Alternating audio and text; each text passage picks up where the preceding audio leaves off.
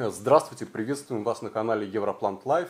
И сегодня мы продолжаем нашу битву ландшафтников, формат, который вам понравился, вы просили э, продолжить. Э, если вы помните, что в прошлый раз мы общались с Ладой Кулыгиной и Виктором Тропченко, ландшафтными дизайнерами, по поводу растений, которые им нравятся и не нравятся. В чем-то они сошлись, в чем-то нет.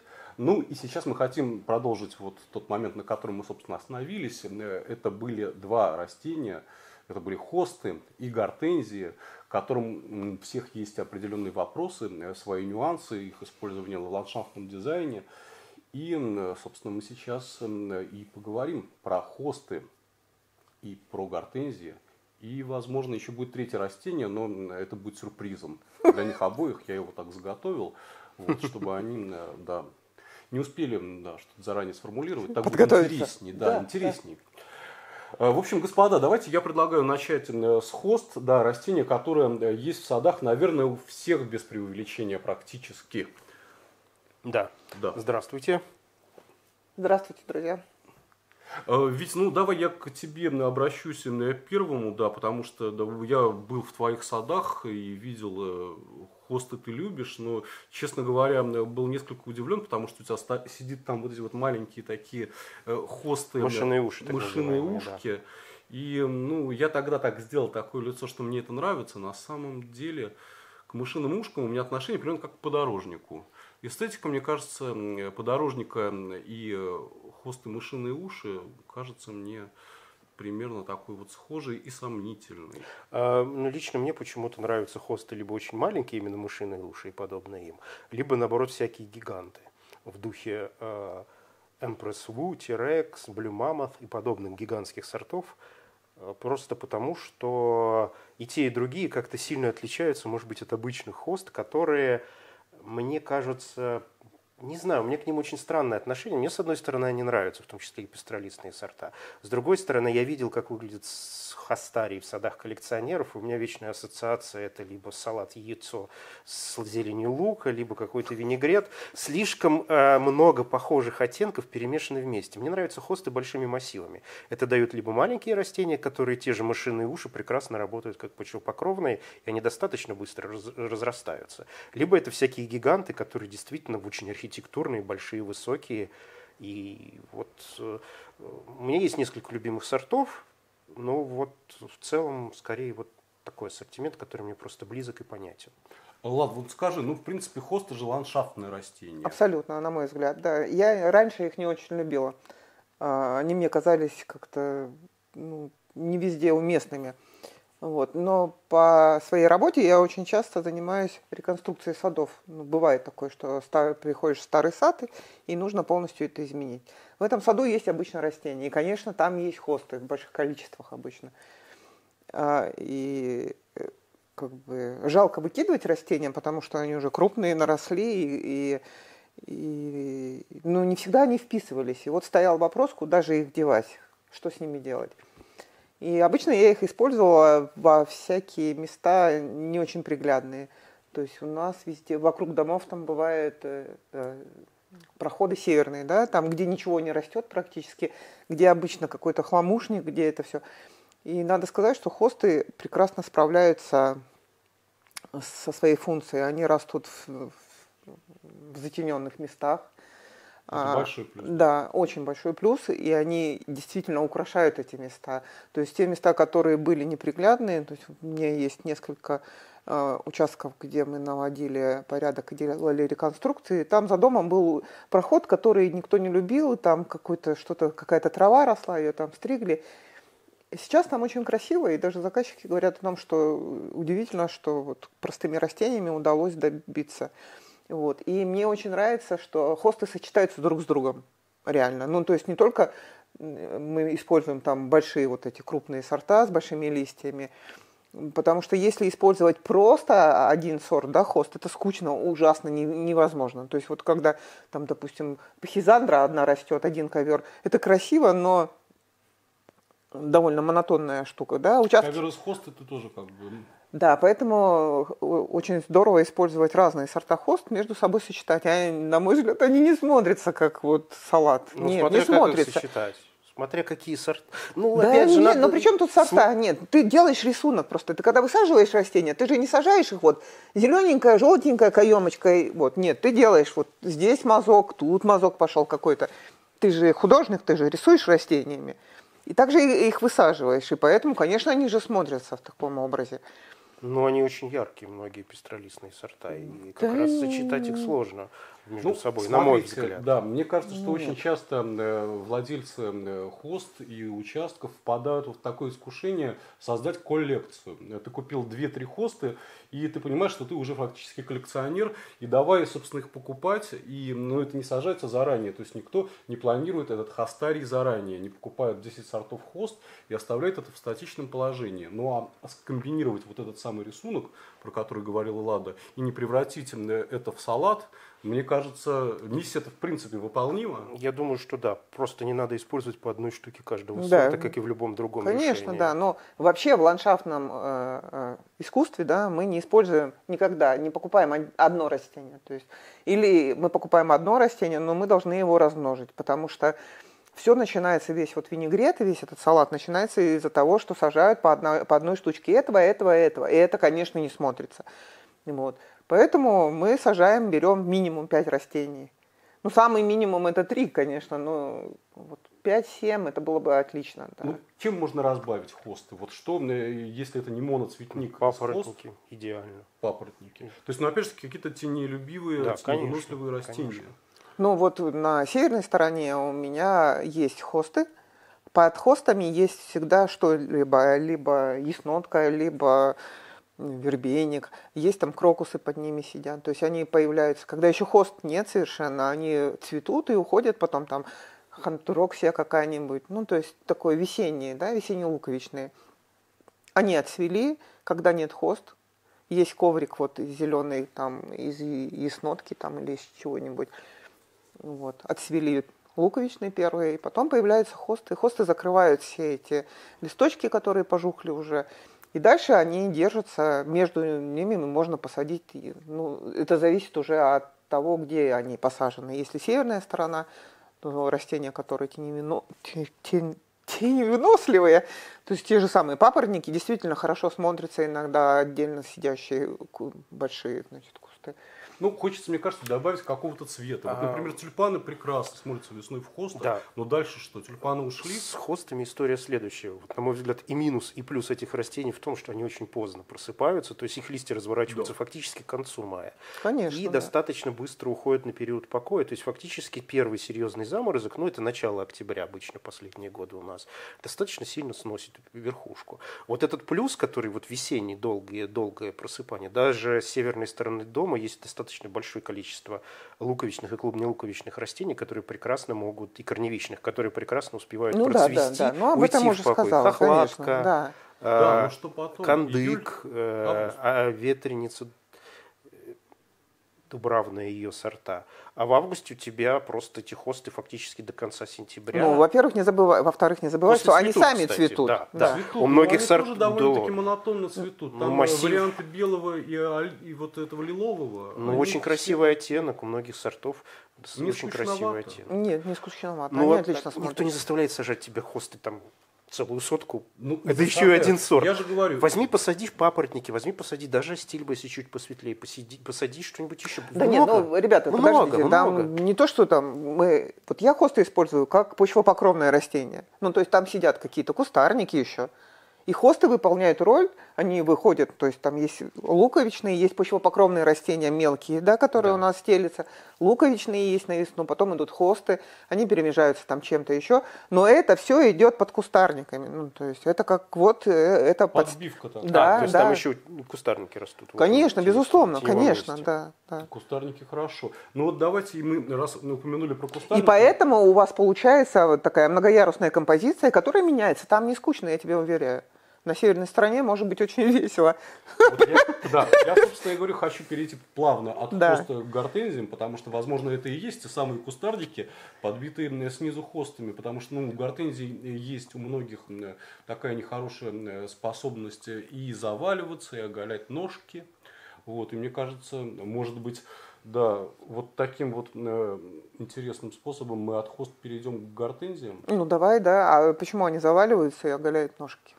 Ну, заваливаются, потому что тяжелые шапки. Э, Старые сорта, у многих именно старые сорта, например. Ну, та же Фрайс самая вот. Аннабель. Например, Ну, если мы обрезать- говорим о древовидной гортензии, она имеет свойство, да, Ну, это да, может. да. залечь. Ну и, собственно, вот эти вот веточки нижние, они у нее часто такие длинненькие. А об этом мы говорили, что нужно формировать это правильно все и вовремя обрезать. Тогда ничего не будет заваливаться и все будет держаться хорошо. Логично. Единственное, гортензия, которую я не люблю по этой причине, что у нее тяжелые соцветия и их очень легко, тяжело держать. Это вот Ваниль Фрайс, она вот реально прям какая-то непокорная. То есть я ее не использую, да. Потому что у нее слабое, у нее очень большое соцветие, яркое, красивое, но очень тонкие такие для этого соцветия, изящные э, стебли, и она очень может лечь прям и потерять вид свой. Не, ну, Вот. безусловно, как бы гортензия. А ландшафтное ты ее вырезаешь, да, оставляешь крупные ветви и крупные шапки, и все нормально. Ты понимаешь, основная проблема, э, собственно, владельца участка и покупателя, что этих гортензий стало такое огромное количество, что ну, человек просто теряется, не очень понимает, что он вообще покупает. А особенно если он покупает растение не цветущее, то он ну, фактически покупает кота в мешке, он не знает, что из этого вырастет, будет ли оно заваливаться, падать и какого размера оно будет. Потому что ты открываешь каталог, Открываешь интернет, э, здесь написано, что она 60 сантиметров, здесь написано, что она метр пятьдесят. В итоге у тебя вырастает какая-нибудь здоровая лошадь грандифлора двухметровая. Ну, это пересорт, если там вырастет не то, что указано на Ну, этикетке, вообще, это да. немножко другая история. Но это даже может быть не пересорт, а вот разные сведения, потому что об одном и том же сорте есть э, Ну, вот у вас весьма есть, противоречивая информация. Кстати, вот каталог. В Есть. В каталоге у вас указаны довольно верные размеры. а есть еще каталог Лескалова, тоже прекрасный, совершенно посвященный гортензии. Да, да. Ну и тем не менее... И на сайте у них он да, есть ну тоже. и у меня к нему есть вопросы, потому что... Ну, растения могут достигать разных размеров. Знаешь, когда появился пузыреплодник дьявола еще, по-моему, 90-е годы, да, везде писали, что он высотой 2 метра, в том числе на западных сайтах. Это вот какая-то странная традиция поначалу. А он- Такая ошибка бывает, бывает, да. Но я думаю, что сорта гортензии уже достаточно хорошо изучены, особенно старые, и можно просто найти разные, ну, просто поискать информацию. Можно я еще скажу? Это еще зависит от того, а, в какую почву вы его посадили. То есть, если у вас бедная почва, песчаная, там, допустим, то гортензия, конечно, не будет набирать объем. Это я вам говорю как садовник, да? Потому что гортензия – это растение, которое требуется э, как бы много То есть питательных оно веществ. нифига не малоуходное. Нет, оно малоуходное, Ну, только это все делать нормальная. вовремя надо. Вот как бы э, садовые дела, они очень простые, если ты вовремя все делаешь. Ну, то есть вот, например, с хостами многие жалуются, что их на- и портят улитки э, листья, да? Ну, мы делаем что? Мы весной почистили сад, мы подкормили то, что нам необходимо, мы рассыпали там, где у нас хосты и э, э, гранулы от слизней улиток, да, потому что... Мутердегид. Да, и это надо делать ранней весной, пока не, не вылупилось следующее поколение. Понимаете, все нужно делать вовремя. И тогда у меня нет проблем в течение лета, у меня хосты красивые везде, во всех садах, никто их там не повреждает. Ну, там останется какие-то улитки, но это не такое массовое количество. И гортензии также мы делаем. То есть мы их обрезаем вовремя, мы вовремя подкормили их, и все. Ну, и, И дальше мы их не трогаем. Ну, и Если жарко очень, то мы их поливаем, да. Безусловно. Ну, гортензия- кроме всего прочего, если она любит любит, питательную почву, наверное, не надо ее сажать в песок. Ну, как Ну, и бывают у людей... базовое правило. Ну, Нет, ну, если просто надо использовать минеральные, песок, да. Ты купил мешок земли, положил его в песок, и потом у тебя все равно опять песок. Так не надо класть землю туда. Нужно использовать э, мульчу. Все остатки растительные, которые у вас есть в саду, надо использовать, перемалывать или не перемалывать, просто складывать, готовить компост и его использовать. Да? Понимаешь, у нас до сих пор почему-то считается, что это вот купить чернозема машину, завести там хорошую машину. Да не надо ничего завозить. Используйте то, что у вас есть. Скосили траву, положили ее. Используйте траву в качестве мульчи. Э, Ладно, я с тобой прям вот созрела мысль записать э, э, ролик лайфхаки от Лады Кулыгиной. Зафиксируемся на этом, да. А ведь, Так это слушай, известные лайф, ну, садовые нет, это такие вам вещи. известно, Ну, это да, очевидно. да, да, Нет, да. просто я сталкивался с тем, что не все хотят компостную кучу на своем участке. Так Не, надо кучу, красивую. нет, не надо Я кучу. тоже не кучу. хочу, Нет, но ну не кучу, а имеется в виду Она красивый сама. компостер. Просто ну, вот не хотят, им вот не нравится. Им проще вынести и купить. Такое тоже бывает. То есть у людей разные приоритеты. Но в принципе, Лада совершенно права. Зачем все это вывозить, чтобы потом привозить? Нужно получать свой компост, причем такого качества компоста его, в общем-то, практически Да, не конечно. Когда ты человеку начинаешь рассказывать долгое, вот как бы э, э, самая главная задача, ну вот я прихожу, ну, да, и мне говорят, нам нужно убрать все листья, которые, весь опад, вот мы пришли на участок, да, и говорят, все убираем, все, все, да, листья из вот, а там огромные пе- перед э, ограждением высажены там шиповники, и это все, конечно, в листьях. Я говорю, а а зачем? Ну, то есть у нас всегда садовники все это убирали. И я говорю, может, мы не будем этого делать? Ну, как бы, зачем? И начинаю объяснять, что э, мы оставим этот опад, мы его, значит, порыхлим, замульчируем в землю, да? И за то, что мы, мы у нас теперь э, шиповники не болеют этим клещом, то есть там сохраняется влага, там на, как бы они Почва, не- да? да, почва образуется, и все хорошо.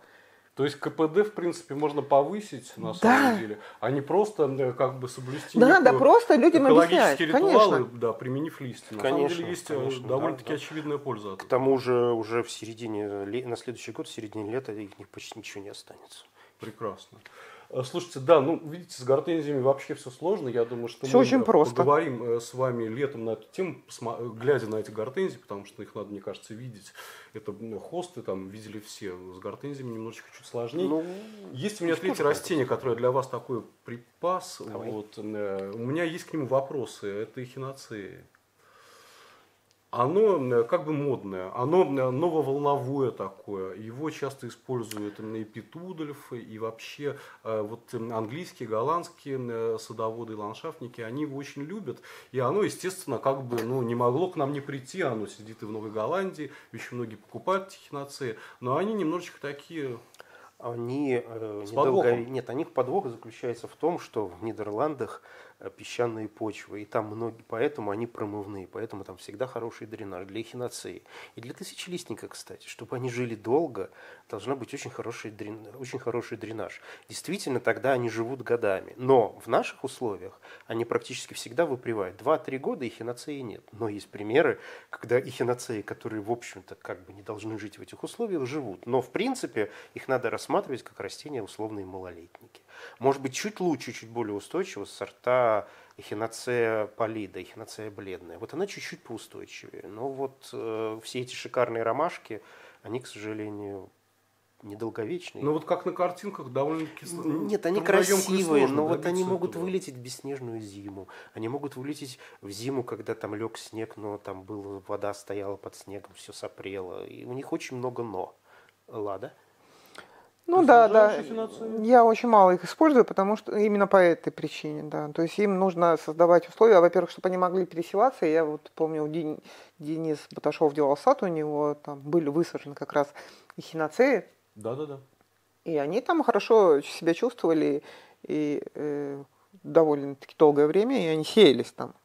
Даже так. Вот, да, сеялись. И это самое главное, по-моему, для них, потому что они должны возобновляться. То есть они сами по себе, по-моему, не, Они не очень долговечные. недолговечные. То есть это не Малолетники. малолетние, да. То есть несколько сезонов они живут. Вот. Я, например, очень люблю флоксы. да.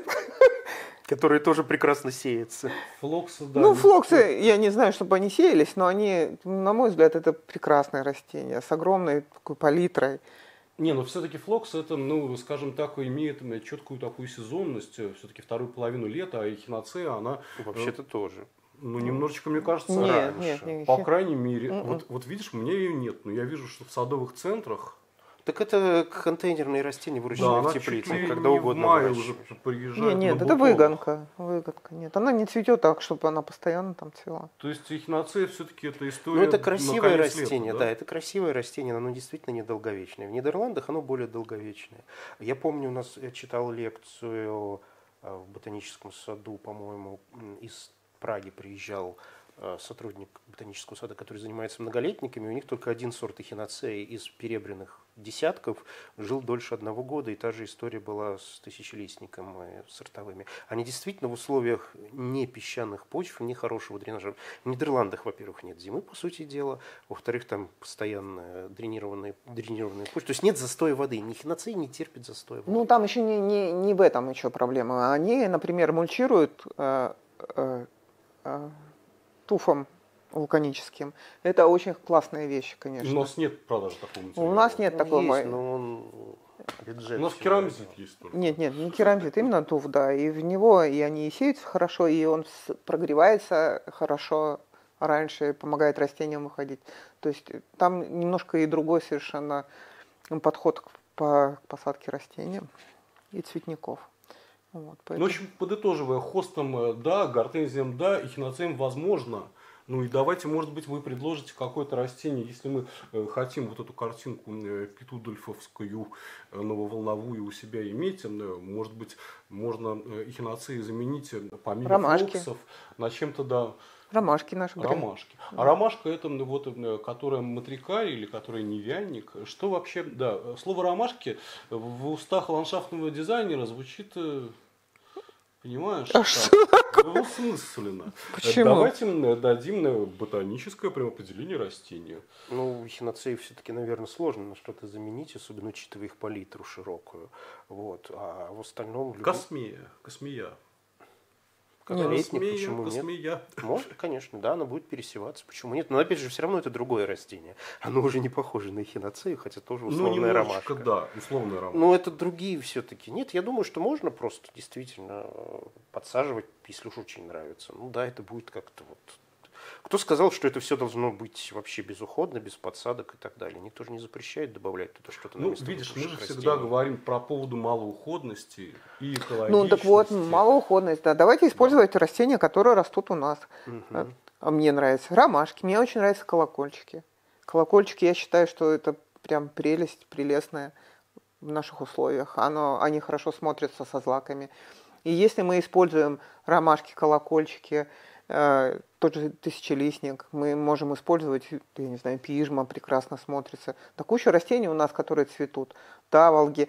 Да полно всего. Не обязательно Ну, использовать... это сортовое, потому что, да, то, Да. что ты говоришь, ромашки, колокольчики, для меня какие-то полевые цветы, которые я Ну, посажу, они разные. и потом э, я буду с ними бороться, потому Нет, что да не они будешь ты. заполонят у меня все. Колокольчик молочно-цветковый, это полутораметровый многолетник, например, его сорта. Это как бы не совсем не полевой цветок. Ну, в смысле, конечно, это понятно, что тоже многолетнее растение растущее. Ну, в на общем, я лугах. э, от Но- вас попрошу, Витя, от тебя и от Лады по одной фотографии с ботанической подписью растения, которое мы можем прийти и сказать, дайте нам вот это вот. Пожалуйста. Потому Может, что может быть, тогда получше приобрести, конкретики. ну вот, например, даже колокольчики ромашки. каталог Европланта или многолетников. Их очень много многолетников, которые могут у нас жить и так или иначе создавать какую-то картинку, огромное количество видов и еще больше сортов. Это Хотелось тысячи. бы сузить. Так не бывает так. Просто когда ты э, делаешь вот э, дендроплан, да, ты сделал проект, у тебя все хорошо, планировки все там, как любит Вика говорить, парковки там все на месте, все нормально. Дальше ты высадил деревья там, запланировал кустарники, и начинается самое главное, начинаются цветники. Но это невозможно, невозможная э, палитра, и, и ты к каждому объекту подбираешь совершенно свой определенный набор растений.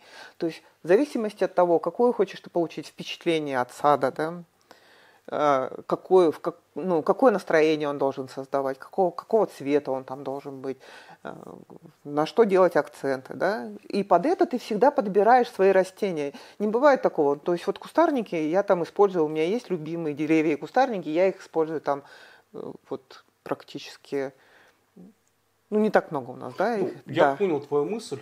Давай мы... А многолетники это такая штука, Ну, что Их очень много. Их- да, да, Андрей, их и- реально очень много. Хорошо, на этой, э, на самом деле, не самой оптимистичной ноте я Да, предлагаю нормально. закончить наш ролик, потому что, да, я не в первый раз сталкиваюсь с такой ситуацией, когда ландшафтные дизайнеры, да, не хотят нам давать никаких простых рецептов, лайфхаков и советов. не бывает. А говорят, да, да, говорят, что не бывает, да, и... Да нет, ну бывает, Ну, почему? по-моему, это Не радостная нота, если у нас есть выбор. Мне кажется, намного хуже, если бы у нас выбора нет.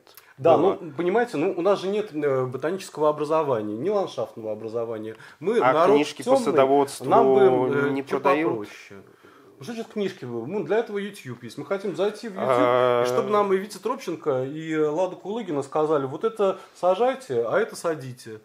Да, ну вот я вам а говорю, нет. сажайте колокольчики, А вы посмотрите на них. А вот дендроплан, да, цветник, цветовая гамма.